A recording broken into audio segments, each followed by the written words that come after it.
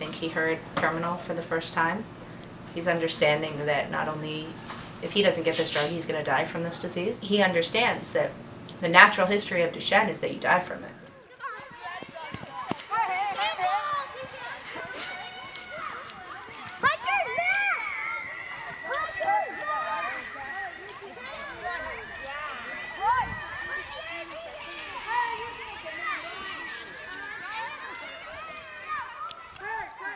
For the past 63 or 4 weeks, um, our son Max LeClaire has been undergoing an experimental drug treatment for Duchenne muscular dystrophy. He's one of only 12 kids in the United States, and um, his older brother Austin is currently non ambulatory because of the same disease, Duchenne muscular dystrophy. And he was not able to, to be part of that trial because he is no longer walking. Duchenne muscular dystrophy is a muscle disability that makes you not as strong as everybody else and you get weaker as you get older. It's affected me for 13, 14 years. Go, going to the bathroom, taking showers, going to bed, doing schoolwork. Makes it harder because you're not able to move as much and you need more help on everything. Max was using a wheelchair most of the time. Actually, the drug was not supposed to help him get better. It was supposed to just stabilize or stop the progression of the disease. And um, Max has shocked everybody and actually is getting better. And um, most people that see him say that you wouldn't know that he has Duchenne. And we would have expected him to not be walking at this point. He's almost 11, and his brother was fully non ambulatory at this age. He's going through a trial for eteplirsen, the drug I'm trying to get.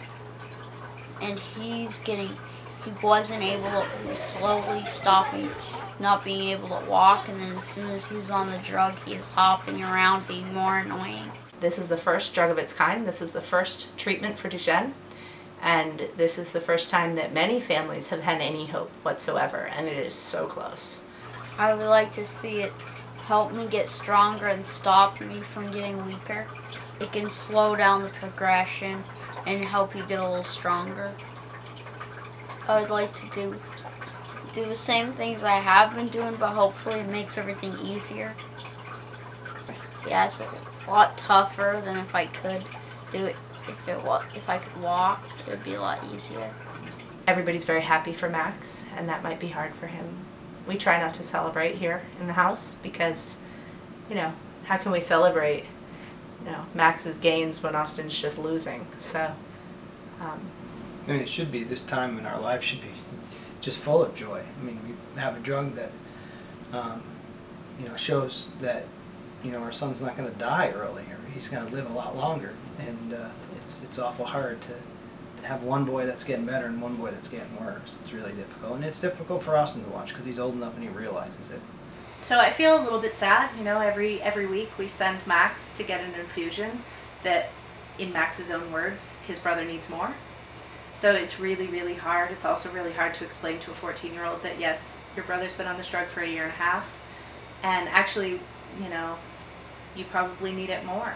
And we're sorry, and there's nothing we can do. You know, we would love to find a way to give it to him right this second, but um, it's just not going to happen unless it's on the track for accelerated approval, and then it could happen very fast.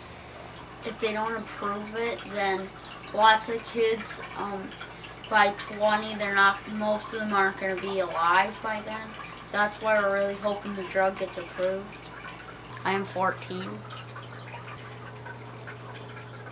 I just really hope they try. They help. They have that in their heart to help me.